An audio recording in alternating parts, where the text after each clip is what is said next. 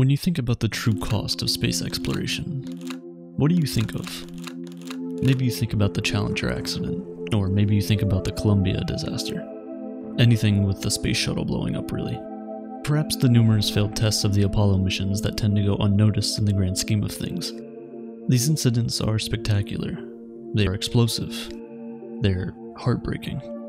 That's why we remember them. But what about the more subtle cost of spaceflight and exploration?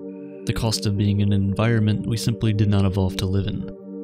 In a way, it's a tad surprising. For one, it's not like space has a lot going on. There's quite literally nothing for most of it. And yet, space makes its presence felt to your body the moment you leave the nourishing confines of our own planet.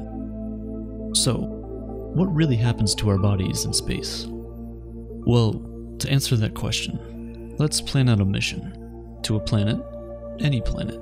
Forget about the return journey. Let's just consider the one-way trip for now. Based on the technology we have now, that would take, let's say, around a minimum of 10 months. So let's get to the launch pad. We have a long journey ahead of us. Three, two, one, and liftoff. Liftoff. Liftoff is the very first thing you'll feel in your space journey, and it's not to be taken lightly. During a rocket launch, astronauts will only experience around 3 Gs, I say only because while three times the force of gravity on your body is certainly not pleasant, most of us can handle it. Some roller coasters can actually hit g-forces up to double that. But anyway, as the thrill ride slowly calms down, you stop being pushed into your seat and instead start being freed from it. The effect of weightlessness is perhaps the second visceral indication that you are in space, but now that the weight is literally off your shoulders, you have something else to worry about. You see, as strenuous as it may feel sometimes, our bodies need the force of gravity to remain healthy. Our bone density and muscle mass depend a lot on the daily loads of gravity. The daily wear and tear are reminders to our body that we need to maintain our sturdy frame with all its muscle. It's essential for our survival. But up in space, where you could basically lift anything without breaking a sweat, not so much. The closest thing you and I have felt here on Earth is prolonged periods of bed rest. Remember how even standing up and getting out of bed feels like a struggle after sleeping for way too long? In space, at least for now, it's not so much that the astronauts are lying down and doing nothing, it's quite the opposite actually. What's different is that their frames are not under any stress most of the time, and as a result, their bodies simply get rid of the excess weight that doesn't need to be carried around. This has meant that astronauts in the ISS have experienced bone density loss of around 1 to 2% a month, which doesn't really sound like much, until you put it in perspective. In comparison, the elderly lose bone density of around 1 to 2%, not in a month, but in a year. Scientists have been trying to combat this, of course. They're doing this by creating exercise machines that replicate the resistance we feel here on Earth. And for astronauts in the ISS, exercise is as important as any of their responsibilities as astronauts. It is paramount to the long-term well-being of the crew. But let's continue with our journey.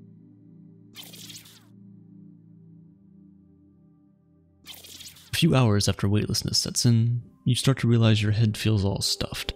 This is because the heart evolved to pump blood against the force of gravity, and without that force, the heart is suddenly pumping more blood to your head than necessary. The effect is somewhat similar to having an allergic reaction, but not just in your nose, in your entire head. Your brain will actually swell up, and the combined swelling in all of your face can lead to structural changes in your eyes, often leading to vision problems. If you've ever seen astronauts in person, notice how most of them have poor vision. If all that work on board does manage to tire you, it's bad news. You see, sleeping in space is not nearly as refreshing as it is on Earth.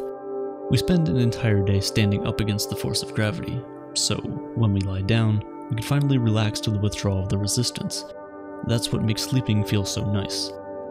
In space, however, there is no real difference between lying down and standing up, because there's no fluid shift inside your body. Nor is there any change in the vestibular system that works with the rest of your body to tell you that you're lying down. Basically, your brain doesn't get the same sense of relief you'd be getting on the surface of the earth. In addition to that, our circadian rhythm, or sleep cycle, is messed up because there's no regular exposure to sunlight or darkness that would orient our sleep-wake cycles. Astronauts on board the ISS have to deal with the sun coming up every 90 minutes, on longer missions, depending on where you are as part of your mission, it could either be always sunny or always dark, and we can't really be sure of the effects that will have on humans long term. until it happens. Since your heart doesn't have to work as hard as it used to, your cardiovascular health declines. That's why a lot of astronauts return from their mission with low blood pressure.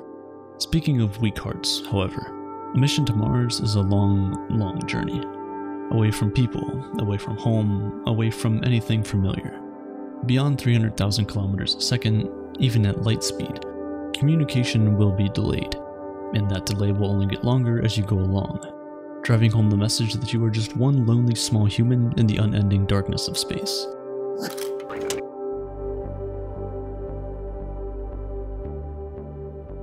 Psychology is an often underrated aspect, not just in space missions, but in reality in general. And in high stakes missions, like the ones astronauts go on, the inclination to leave out mental health to the latter pages of the agenda seems only human. Yet, as our journeys become longer and longer, this has become more and more of a concern.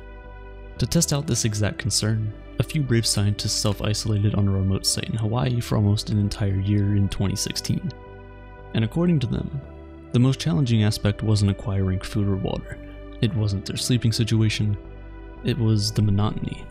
Being in the same place, with the same people, eating the same thing, all day, every day. Overlooking the mental implications that something like that causes is pretty much setting yourself up for disaster from the start. Speaking of disaster though, after the Columbia disaster in 2003, one of the first things that was done was to let the astronauts aboard the ISS know that their fellow astronauts did not survive the journey. In those following weeks, all on board were mandated to check in with a psychiatrist. The stresses of being up in space are almost entirely physical, but the mental stress is perhaps just as big of a puzzle piece in the next chapter of human exploration. The path to exploration is a solitary one, but this data has all been derived from experiments conducted on scientists aboard the ISS. And as far as that is, the ISS still enjoys a lot of the protections of Earth. Things like the magnetic shielding that protects us from almost all of the sun's harmful radiation. Beyond a certain portion, we will have none of that protection, and as such, radiation is perhaps one of the things we're least prepared for. While the muscle atrophy can be countered by a rigorous exercise regimen, we have very few answers as yet to the radiation problem and the effects it has on the human body. One of the many effects this has had is DNA damage. Perhaps one of the more intriguing effects has been the lengthening of telomeres. Telomeres are structures at the end of a chromosome that help it divide. As we age, our telomeres shorten and lead to more mistakes during division. This causes further complications in our body as we get older. This is actually something we've studied on astronaut Scott Kelly, who, as many know, spent nearly an entire year aboard the ISS and has spent over 520 days in space during his lifetime. Surprisingly, Scott's telomeres actually lengthen with the passage of time on the ISS. Now, before you start planning your trip to space for your anti-aging therapy, it was temporary, as they slowly shrunk back to baseline levels as soon as he came back to Earth. But beyond that, the exposure to all that radiation increases the likelihood of astronauts to develop cancer. To add to the anti-aging effects of space, astronauts also experience an increased production of collagen, a protein that provides skin structure and prevents wrinkling. Again, this is not the type of anti-aging treatment you want to be going for, because while yes, their skin produces more collagen, it actually thins out more than before, leaving your body with less protection. Something as simple as stepping out into the sunlight becomes extremely harmful. You also grow taller in space, not by much, about 2 to 3 inches, but it's enough that your suit has to be built with that expansion in mind. This may be obvious by now, considering how much we've talked about gravity and what its absence does to us, but the routine exertions of the day, like walking, grabbing something out of a cabinet, sitting and standing, and really any other movements actually helps compress your spine and keep it in the shape that it's meant to be in. A sudden lack of that force can, over time, develop into back problems, making even walking difficult and extremely painful. You don't even get to keep the couple of inches, you lose it all when you come back to the confines of gravity anyway. So what's the point? Despite all this, most of these changes take place over a reasonably long period of time. That allows the body to adjust to it as well as it can. But what about the changes our body cannot adapt to? What about the ones that are just too quick? What would happen, say, if you were to be left out there with no suit? Your body is given no time to react. Is this the end? Well, for one, the truth is both less spectacular and less dramatic. You don't explode like the movies would want you to believe. You still die, don't get me wrong, but you won't just explode to death if that's what you had in mind. You see, without a suit to maintain the air pressure that we need, any and all air left in our respiratory system will expand quickly in a dire need to equalize with its surroundings, which in the middle of space is basically nothing. This means if you know you're going to be in space without a suit, just let go of your breath. You're actually better off that way. The absence of pressure will also turn the liquids in your body to gases. But again, your skin is elastic enough that it won't cause you to explode. The temperature aspect is also something that is misrepresented. While it is true that the temperatures in space are capable of being extreme in certain situations, without an atmosphere, heat just won't transfer fast enough to kill you either by burning or by freezing. You will eventually freeze, as any and all leftover heat from your body will eventually radiate away. Next, well, there isn't a next. That's about 60 seconds. You're passed out, and for all intents and purposes, you're gone forever. It's not all bad though. Despite all the things that will happen to you, at least it'll be over soon. So much remains to be known. The longest someone has spent in space is 437 days, a little over 14 months straight. Now, not to underestimate the magnitude of the achievement, it was still done on the ISS, with some of the protections we won't have on longer space missions. The most comprehensive experiment on the influence of space on our bodies so far conducted has been the NASA Twin Study experiment, where two astronaut twins were the subject of a prolonged study. One of the twins sitting here on Earth acting as a control, the other serving in the longest mission on the ISS any American has ever served. It's a one of a kind study, but that's a remarkably small sample size. The subjects of this particular study were astronauts Mark and Scott Kelly, who I mentioned earlier. Yes, there's two of them. What is to say the twins, astronauts Mark and Scott Kelly, weren't just naturally predisposed towards developing better mutations for space travel? We still don't know enough on how our bodies react to the fractional gravity on Mars or the Moon. The gravity on these planets is not as strong as that of the Earth. However, they are there. And so, on the occasion that the relationship between gravity and the side effects of being without it may not be linear, meaning it doesn't exactly mean that only having half the gravity makes it half as good for our human bodies.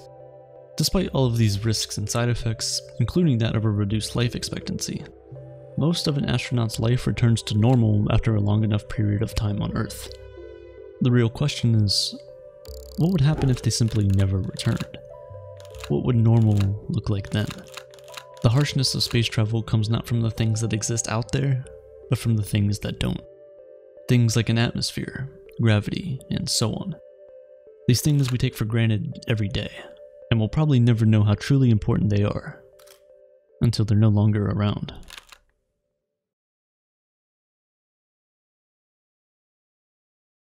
Being an astronaut is something we've all dreamed of, but to actually accomplish such a task is something only a handful of people on the planet can say they've done. There's physics involved, there's biology at play, there's tons of risk at hand, and you really need to have some diamond hands to not give up on your dream. But it's not impossible, and that's the key. With Brilliant, you can keep yourself on the right path. Brilliant is the best place to go to learn about everything math, science, and computer science related. For example, they have a course on gravitational physics, which is the exact thing that makes things like living on the International Space Station possible. By the end of this course, you'll be able to code simulations to explore applied problems using Python, derive pieces of general relativity, and understand where Newton's laws really start to fail us. All from the comfort of your own home. Brilliant has courses that cover almost any science related interest you have, so it's definitely worth looking into. They show you what you're learning, and provide visual examples to solidify your understanding. With daily challenges, it's the best way to keep reinforcing your knowledge, making it second to nature. If this sounds fun and you're interested, head to brilliant.org/aperture for a free trial. The first 200 of you to check it out will get 20% off a premium subscription that lets you take every single course that Brilliant has to offer. You'll be supporting my channel and your future at the same time.